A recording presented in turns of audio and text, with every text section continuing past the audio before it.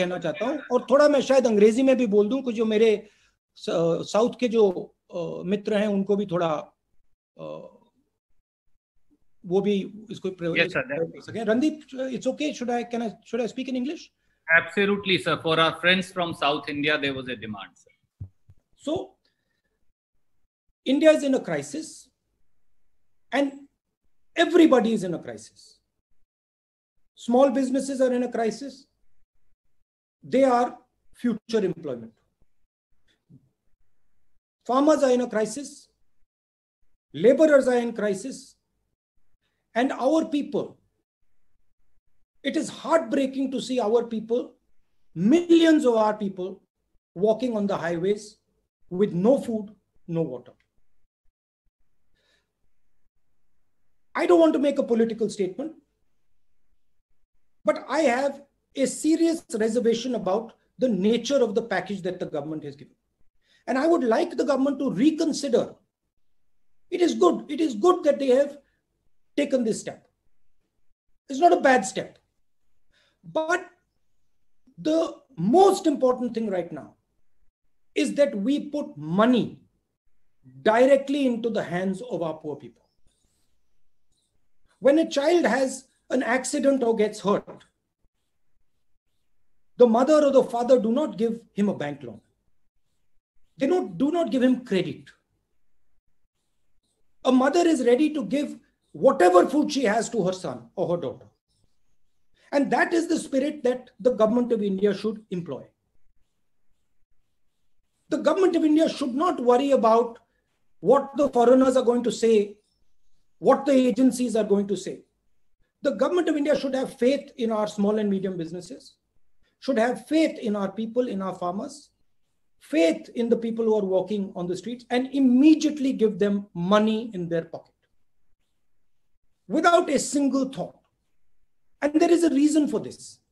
Because if we do not support our small businesses now, if we do not support our farmers now, if we do not support our migrants now, our economy will not start. And if our economy does not start, the question of ratings does not arise. So I would like to ask the government, and with all respect, I would like to ask the Prime Minister to think about putting money directly into the bank accounts of our people. We have a we have, in the Congress party, we had an idea called Nyay.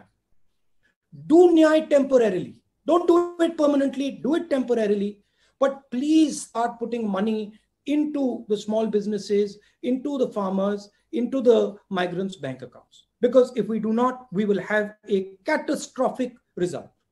What is going to come if we do not do that is going to be much worse than what we have seen. It is going to overshadow the disease of COVID. So that is my main message. I'd like to say two other things. One, there have been numerous tragedies. There have been tragedies where people have died and I would like to offer my condolences to all those people, those families who have lost loved ones. And finally, one point about the lockdown. The lockdown is not a simple thing. We have to, when we open the lockdown, we will have to open the lockdown and we will have to make a transition. It is very important that we open the lockdown intelligently and carefully without sacrificing the vulnerable people. We cannot sacrifice our old people. We cannot sacrifice our people who have diabetes, heart disease, hypertension, kidney disease. We have to protect them. And it is the primary duty for everybody to do that. Hindi में भी ये आखिरी बात बोल देता हूँ। जहाँ तक लॉकडाउन का सवाल है लॉकडाउन एक ऑन ऑफ़ स्विच नहीं है। लॉकडाउन को समझदारी और होशियारी से हमें लिफ्ट करना है। ध्यान से लिफ्ट करना है। ये एक इवेंट नहीं है, ये एक प्रोसेस है और इसको हमें ध्यान से, होशियारी से और समझदारी से लिफ्ट करना है। और सबसे ज़रूरी बात जो हमारे वनरेबल लोग हैं, जो बुज़ुर्ग लोग हैं जो हार्ट पेशेंट्स हैं जो लंग डिज़ीज़ के पेशेंट्स हैं जो हाइपरटेंशन के पेशेंट्स हैं जो किडनी डिज़ीज़ के पेशेंट्स हैं उनकी रक्षा हमें कर कर ये लॉकडाउन हटाना है। तो ये मेरा ओपनिंग स्टेटमेंट था। अब आप कोई भी सवाल पूछे धन्यवाद। बहुत बहुत शुक्रिया सर। uh, श्री के सी वेणुगोपाल जो जनरल सेक्रेटरी है आईसीसी ऑर्गेनाइजेशन है। He has also joined you we welcome him also to this special press conference May I, sir, I, I thought the... you were saying I thought you were saying KC Gopal is going to ask me a question. uh, of course, I'm sure he has plenty of questions that he asks all of us, sir. बताइए you Uttar Pradesh से APP Ganga से अनुभव शुक्ला जी आ, क्या आप अपना सवाल पूछेंगे आप अपने आप को अनम्यूट करिए और सवाल पूछिए अनुभव जी अनुभव जी को हम ढूंढ रहे हैं। राहुल जी सबसे पहले तो नमस्कार। एक सेकंड अनुभव जी।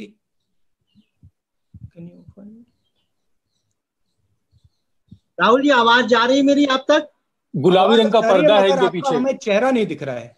रेड पर्दा है गुलाबी पर्दा। हाँ गुलाबी पर्दा है और क्रीम कलर का शर्ट पहना है इन्होंने। हाँ मिल गए। हाँ थैंक यू राहुल जी नमस्कार सबसे पहले तो। कैसे हैं आप? ठीक है? जो बात आपने कही सबसे पहले, सवाल वही है कि जिस तरीके से जब अर्थव्यवस्था गोता लगाने लगी, तब केंद्र सरकार ने 20 लाख करोड़ के पैकेज का ऐलान किया। तीन फेजेस में ये पैकेज जो है वो दिए भी जा चुके हैं। लेकिन तमाम सारे जो इंडस्ट्रिस्ट है, उनको समझ में नहीं आ रहा है। उनका ये कहना है कि अगर ये लोन देने की बजाय जो पिछला लोन था उसको माफ़ करते तो ये शायद ज़्यादा बेहतर होता। क्योंकि लोन दे रहा इंडस्ट्री चलेगी, जब डिमांड नहीं होगी तो सप्लाई कहाँ करेंगे? एक सबसे बड़ी वजह वो है, और आपने वो बात कही भी। दूसरा, क्या आपको लगता है कि ये ज़्यादा बेहतर होता कि 20 लाख करोड़ को राज्यों को दे देते और वो अपनी सुविधा के अनुसार से जिसको जितनी ज़रूरत होती उतना पैसा वो देते खुद? देखिए, आपने जो डिमांड की बात बोली, वो बिल्कुल सच, सही बात है।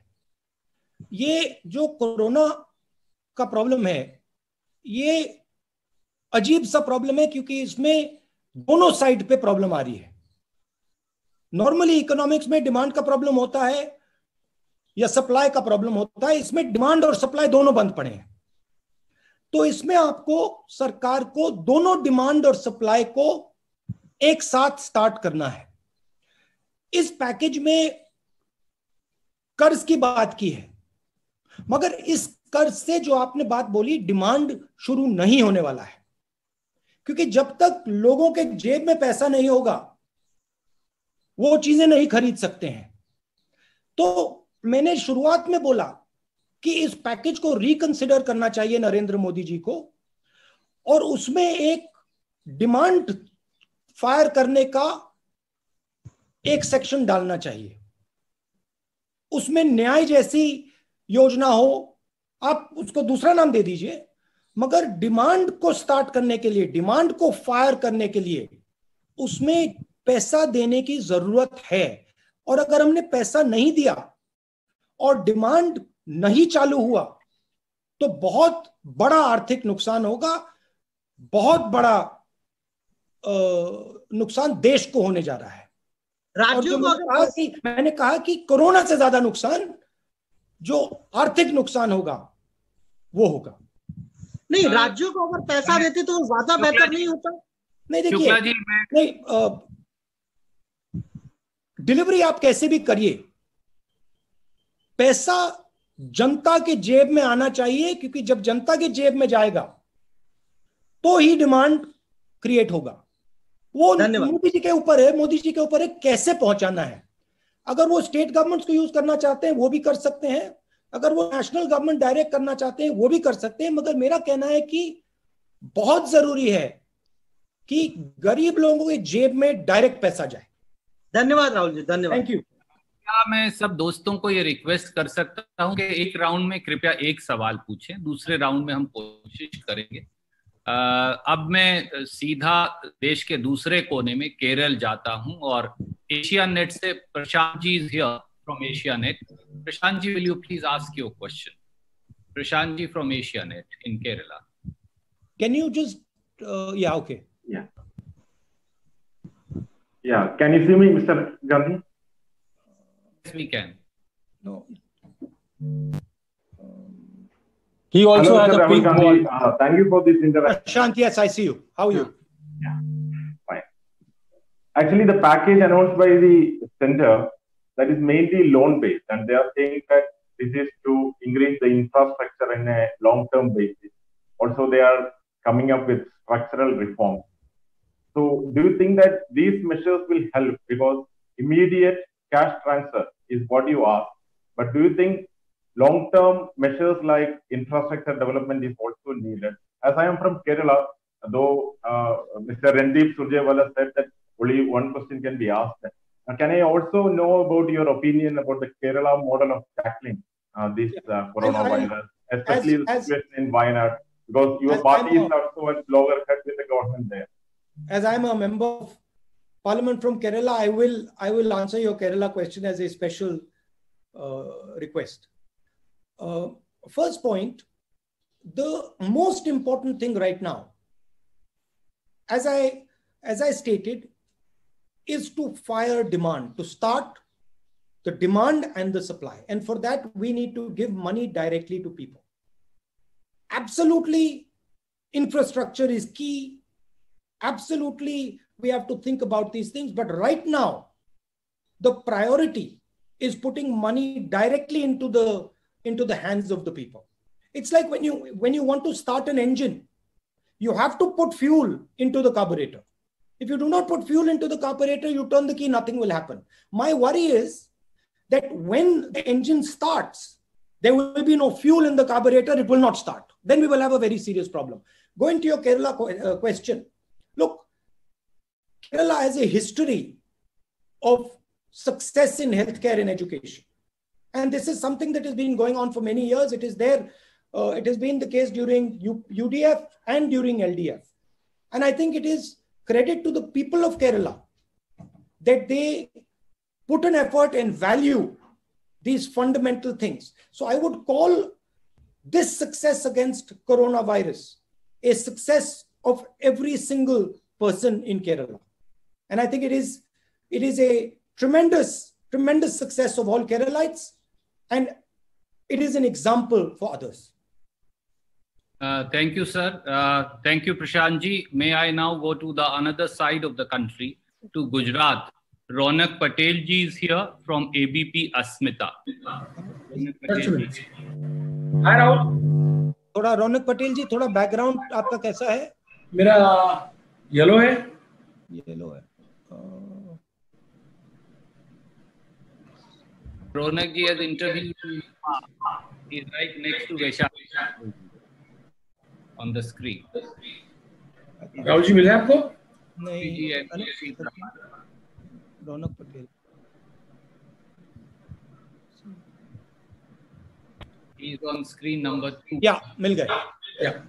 राहुल मेरा सवाल ये था कि पिछले कुछ दिनों से जो भी वारदातें हो रही है दुखद घटनाएँ हो रही है सभी खास करके जो मजदूर है माइग्रेंट लेबर से चाहे गुजरात से हो या अलग अलग स्टेट से। उनके साथ दुर्घटना भी होती है, ऐसे दृश्य भी आते हैं जो आपको झंझोड़ते हैं। आप क्या मानते हैं, इस स्थिति के लिए जिम्मेदार कौन है? उससे जुड़ा मेरा सवाल यह है कि आपको लग रहा है कि अलग अलग जो स्टेट है, उनके बीच में कहीं ना कहीं कोऑर्डिनेशन की कमी है? चाहे गुजरात से मध्य प्रदेश हो, गुजरात से राजस्थान हो, गुजरात से महाराष्ट्र हो, महाराष्ट्र से और स्टेट हो, और क्या इस मुद्दे पर कांग्रेस ने कभी सरकार से सलाह मशवरा किया देखिए, ये गलती देने का टाइम नहीं है। ये फिंगर पॉइंटिंग का टाइम नहीं है। आज हिंदुस्तान में, हिंदुस्तान के सामने बड़ा प्रॉब्लम है। और इस प्रॉब्लम को हमें रिजॉल्व करना ये छोटा प्रॉब्लम नहीं है। ये बड़ा प्रॉब्लम है। जो लेबर की बात है, ये बहुत चैलेंजिंग प्रॉब्लम है। तो मैं फिंगर पॉइंटिंग नहीं करना चाहता हूँ। मैं बस ये कहना चाहता हूँ कि ये जो लोग सड़कों पे चल रहे हैं इनकी मदद हम सबको करनी है। सिचुएशन ये है कि बीजेपी सरकार में है और उनके हाथ में सबसे बड़े औज़ार है। तो उनको, उनकी ज़्यादा ज़िम्मेदारी बनती है। हम ऑपोजिशन में हमारा भी काम है, हमारा संगठन है, हमारा भी काम है। और जॉइंटली एक काम सबको करना पड़ेगा। स्टेट्स की कोऑर्डिनेशन में कोई कमी रह सकती है, मगर उसको रिजॉल्व करना है। हम ये नहीं कह सकते कि हाँ भैया मध्य प्रदेश और इसके बीच में कोऑर्डिनेशन की कमी है वो बात छोड़िए। रेजोल्यूशन की बात करते हैं आगे बढ़ते हैं। और जो आंधी आने वाली है क्योंकि आने वाली है वो जो चैलेंज है उसको हम एक साथ मिलकर कन्फ्रंट करें। Thank you Ronak ji may I now go to another part of the country to Assam from Parag News Pranoy Bordoloi ji please come in yeah hello can you hear me Yes, I can hear Hi. Yeah, good afternoon, Nazib. Rahulji. Uh, my, my question is same thing. The, the, the, migrant issue is a big issue uh, in India, and Assam is also no exception. So, uh, lots of people from Assam they are stranded in different parts of the India. So, whether uh, what do you think? Whether the government of uh, Assam as well as the government of India is uh, doing appropriate step, they, they are doing uh, properly to evacuate the people from from those places to their home states. As I already mentioned, it is a very challenging job. There might be discrepancies, but I don't want to raise or finger point uh, about the discrepancies. This is not the time or the place. Whenever something like this happens, it is easy to point fingers. I don't want to do that. But our people are in pain. They are struggling.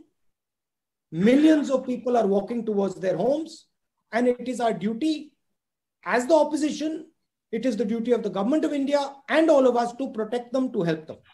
And so I think the spirit should be one of trying to do as much as we can to make their life easier. And I think it is fundamental that we give direct money to them. It is very important that we, at their most difficult time in their life, they are not going to have a more difficult time than this.